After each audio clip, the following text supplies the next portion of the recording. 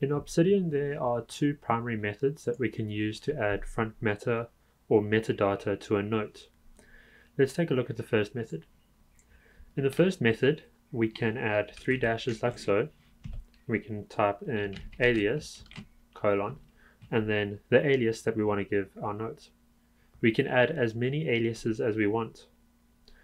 An alias is simply just another way to refer to a note. So whether it's something that makes more sense from a language perspective, or in this case, I just want to rename this note method 1 with um, the alphabetical or the text version of 1. So I'll just say method 1 like so.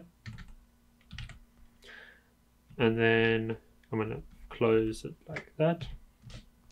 When I'm referring to the note, you'll see that method 1 comes up as a suggested term. If I click on this, it will automatically add in that alias markup there. The second thing we can do is we can add tags like so. And we can add as many tags as we want here. So we can say one, two, three, four. And I'll add tags like so. Just take note, you don't need to put a hash in front of it. Um, as it will not work. It will break it if you put a hash tag in front of it. Go. Now, something to note with aliases is that it needs to be separated by a comma, but in order to separate your aliases by a comma, you need to put it in an array. And the way you do that is you make a square bracket like so. And we could say first method.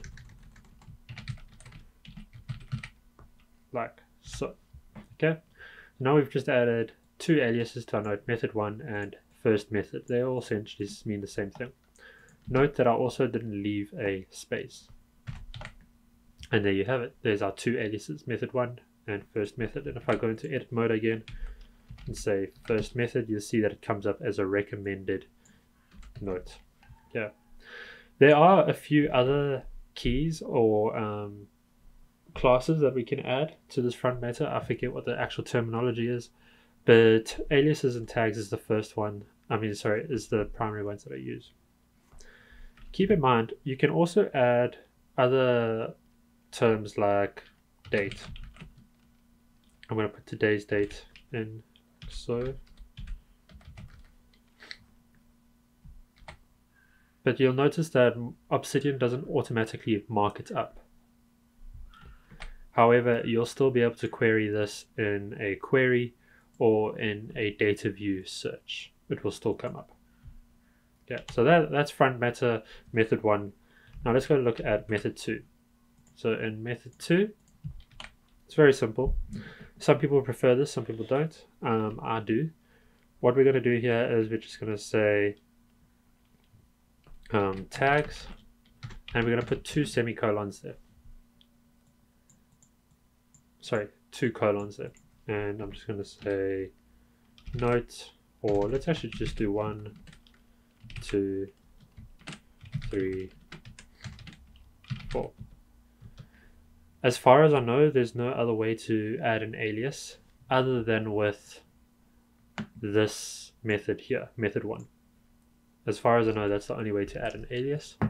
But this is also a way of adding front matter and metadata and this um, these two colons here together show Obsidian and DataView, um, which is a plugin, that this is a, a field that you want to query.